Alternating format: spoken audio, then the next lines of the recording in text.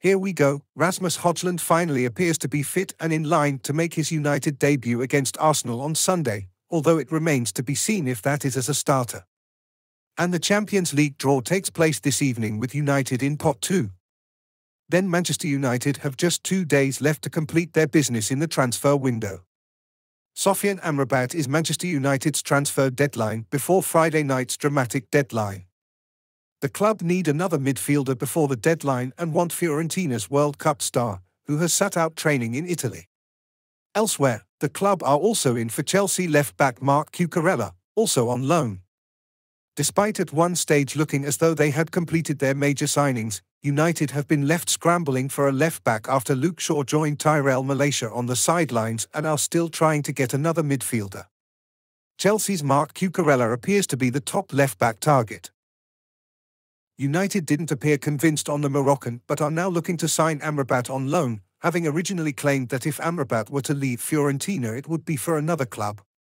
Agency sources indicated United were underpromising ahead of over-delivering, but the possible addition of Amrabat would still raise questions about the club's strategy in the market. Meanwhile, we are just few hours away from the Champions League group stage draw. Well, maybe a bit longer once we have seen off UEFA's unnecessary rigmarole before actually pulling the teams out. It gets underway at 5 p.m. in Monaco and will be streamed live on the UEFA website and TNT Sports, including on their YouTube channel. Manchester United and Arsenal are in pot 2 with Real Madrid, Inter Milan, Borussia Dortmund, Atletico Madrid, RB Leipzig and Porto. Elsewhere, finally reports suggest that Sofyan Amrabat is ready to fly to England for his medical. The Moroccan midfielder has been a long-term target for United. And a deal could get over the line before 11 p.m. tomorrow. United want a loan move with the option of a permanent deal next summer to comply with FFP rules about Mason Greenwood is that could link up with seven former Premier League stars at Besiktas. Sunsport understands that the Turkish side are interested in signing the Manchester United outcast, who will not be returning into Erik Ten Hag's team.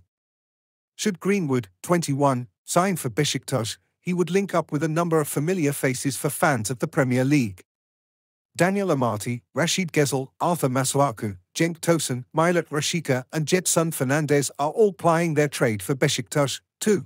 Manchester United are still owned by the Glazer family as the club's proposed takeover rumbles on. Proposals headed up by Sheikh Jassim from Qatar and British billionaire Sir Jim Ratcliffe, via his Ineos company, have yet to be accepted by the Americans and United remain at a crossroads off the field. That means supporters will have to play the waiting game for a little while longer yet before looking forward to fresh beginnings. Sheikh Jassim and Sir Jim have, naturally, been radio silent with the red tape involved. However, there's plenty to consider around the proposals, not to mention protests towards the Glazers themselves. While there's nothing concrete to feast on at the moment, there are some interesting snippets floating around in the national and international media. Here's our latest roundup of the main takeover headlines. Manchester United hero Rio Ferdinand has doubled down on his criticism of the Glazer family regarding their lack of communication with the club's fan base. The Glazers confirmed they were undergoing a strategic review of their much maligned ownership in November. However, it remains unclear whether United's American owners are looking to sell the club or searching merely for fresh investment at Old Trafford.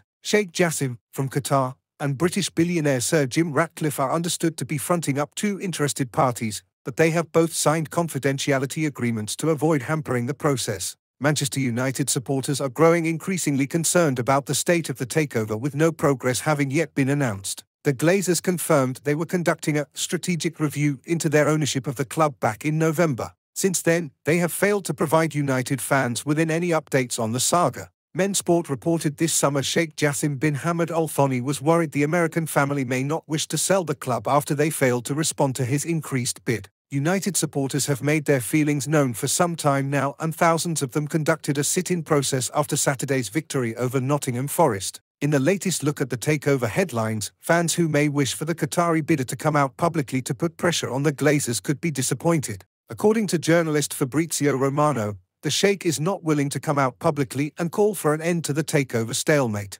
Romano claims the Qatari banker is keen to abide by the confidentiality rules of the takeover process. United warned lack of takeover is holding them back this summer. In an interview with Sky Sports News, Former Reds goalkeeper Mark Bosnich believes the lack of a sale is stopping Erik Ten Hag from signing the key players he wants to. He explained, an important signing is going to be difficult and a lot of that is to do with the fact that we still don't know 100% if the club is going to be sold. So I think they're tying up those things first before they can go out and look to make a major signing. One of the standout kits of the new season, the base color of the Adidas shirt is green with white stripes and maroon lines ensuring United will boast one of the most eye-catching shirts in the game for the 2023-2024 campaign. Manchester United's takeover has taken another twist at Old Trafford following a report earlier this week. Manchester United have not provided any answer on the progression of a takeover at Old Trafford, as Italian journalist Fabrizio Romano offers GiveMeSport his verdict on recent reports.